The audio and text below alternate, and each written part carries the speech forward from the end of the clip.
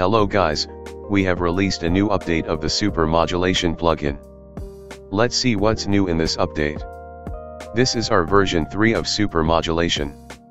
Now you will see a new direction option here. Now we can change the direction of these modulation lines. There are four direction options here, left right up and down. Let's add a color node to properly view the lines moving. You can see how the left direction looks here.